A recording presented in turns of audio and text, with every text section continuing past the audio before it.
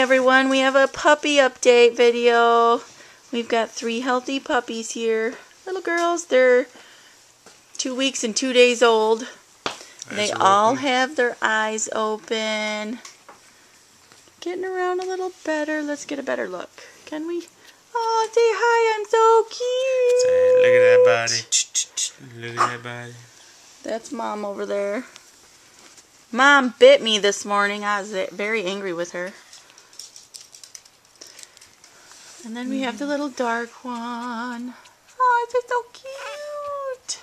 Of course, you have to throw the black one. Aren't they adorable? Just wanted to do a quick puppy update. They're doing good. All right, see you later. Peace.